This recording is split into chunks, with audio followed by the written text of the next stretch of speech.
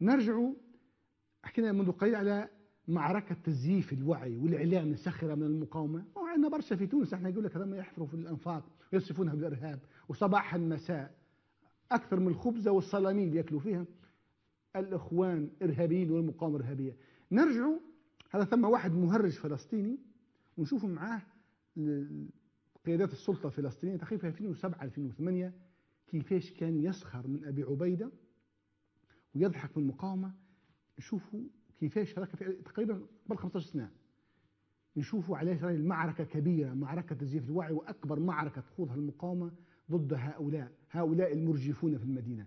نسمعوا هالمهرج الفلسطيني هذا في الضفة كيفاش مع قيادات السلطة الفلسطينية كيفاش يحكوا على أبو عبيدة يمكن 15 سنة التالية نسمعوه نرجع له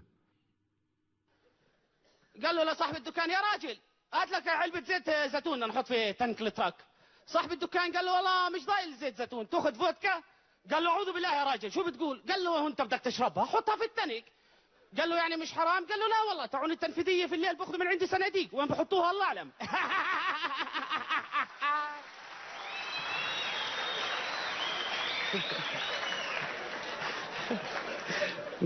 انبسطت القيادة.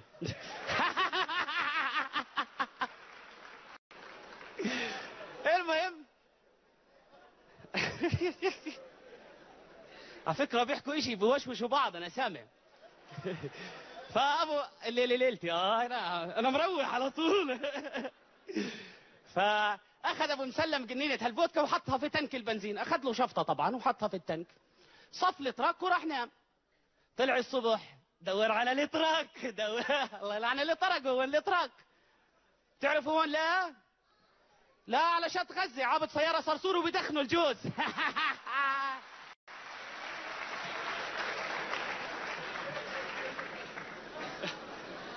آه في حرب غزة فيش شيء اعمله أنا؟ يعني نايمين. رحنا نحتاج حكونا ممنوع تظاهر يعني. بدك تظاهر ظاهر سلمي في الضفة. قلنا لهم شو يعني تظاهر سلمي؟ قال يعني اضوي شمع. قلت لهم هذا شغل ولدي. رحت نمت. المهم أجت أمي قوم قوم قوم يما ولك قوم. قوم عليك حيطة. قلت لها خير شو في؟ الهي بتقول لي قوم ولك صاروا خاطفين جنديين في غزة. قلت يسعد الله حماس انتصرت خلص. صاروا خاطفين جنديين غير شليت يسعد الله في رام الله. خلص كسبنا المعركة. بقول لها من وين سمعتي؟ بتحكي لي الجزيرة. طلعت بتحكي خبر عاجل. خطفوا جنديين. رفعت التلفون على أبو مسلم صاحبنا تاع الإتراك. آه أبو مسلم مبروك يا راجل. قال لك مبروك عليكم الانتصار يا راجل. صرتوا خاطفين جنديين مبروك الانتصار. قال لي أنو انتصار؟ قلت له انتصار الوزير يا زلمة انتصار المعركة. قال لي والله إيه قال لي اسكت. هذول طلعوا من كتاب أبو علي مصطفى الاثنين. آه اسمعوا. أخذوا الاثنين وودوهم على أبو عبيدة. أبو عبيدة تحت الأرض لابد تحت مستشفى الشفاء. هو أبو العبد والشباب ما أنا عارف.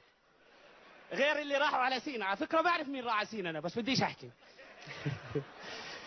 فأخذوا الاثنين وودوهم على أبو عبيدة. أبو عبيدة. باش تعرفوا ملة الهوان واحدة. شرق العرب ولا غربها؟ الناس تحكي على أنفاق. شفت هؤلاء المهرجون شفتوا الصف الأول بتاع قيادة عباس. كانوا يسخرون من أبي عبيدة ومن المقاومة وتحت مستشفى الشفاء نفس ال... نفس راضعين نفس الحليب. أستاذ صالح حتى نختم حسين نعم. بارك الله فيك على ال... رغم هذا المشهد القبيح عفوا على هذه العبارة ولكن باهي أنك أعطيتني هذا المشهد السيء من أجل أن نعلق عليه. أنا قبل حين قلت كلمة نحب نعودها. أنا قلت لك أفضل الموت وأنا أعلم بما حولي ومن حولي على الحياة وأنا جاهل وغافل عما حولي وعمن حولي. أه لما نعرف أنا هذا المهرج وأمثاله اللي يتفرجوا فيه واللي يضحكوا معاه أه فهذا أيضا مكسب. أه الأستاذ حسين الحضارة هي المعرفة. التعليم هو المعرفة الدين هو المعرفة الاقتصاد هو المعرفة. رب سبحانه وتعالى يوصف العلم في القرآن بأنه الحياة ونقيضه الموت. نعم. أكا ولا؟ نعم. ما قدمه الطوفان أستاذ حسين ما قدمه الطوفان هو الحق والمعرفة. الطوفان قدم لنا المعرفة ثم ثم مثل أو نص فرنسي أنا أعتذر أن يذكر بالفرنسية. يقول لك لو سافوار لو بوفوار المعرفة هي السلطة. الذي حدث أن طوفان الأقصى قدم لنا المعرفة واضحة جلية بهية تحت الشمس.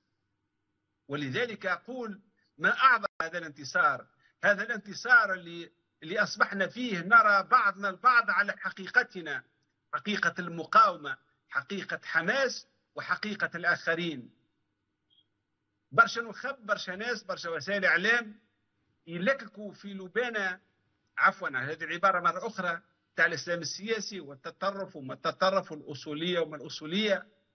هذا الطوفان وضع كل واحد في مكانه وضع المقاومة في مكانها وضع حماس في مكانها ووضع هذا المهرج والذين يحضرون معه ويضحكون له ومعه وضعهم في مكانهم الطبيعي.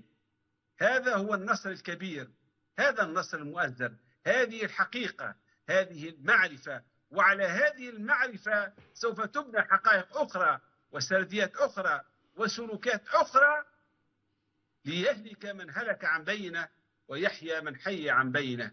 نعم. شكرا جزيلا سيد صالح متراوي. دكتور زبير خلف الله. أستاذ التاريخ السياسي بجامعة باردين التركية جزيل الشكر. آه، إن شاء الله تتواصل الأفراح هي هدنة بأربعة آه، أيام وإن شاء الله آه، تستمر هالهدنة ويستمر انتصار المقاومة رغم كل الآلام والجراح. ما تمش انتصارات تجي هكاك لا شيء. تأتي بالدماء. نرجع وماذا تساوي هذه الدماء أمام دماء عنتها الأمة. أرجع لانتصاراتنا التاريخية الأمة هذه. لازمها دماء ولكن أن تبقى الروح روح المقاومة متقدة هذيك الشعلة المطلوبة التي ترسمها المقاومة عندما ونراها جلية عندما يحدق أطفالنا وصغارنا أمام شاشة التلفزيون يحدقون في أبي عبيدة لا كما سعى الإعلام جاهدا على ترويضهم وتمييحهم بما يسمونه فنون والفنون منهم براء. ألتقيكم إن شاء الله بداية الأسبوع إن بقينا من الأحياء إن شاء الله. ودامت المقاومة منتصرة إن شاء الله. في أمان الله.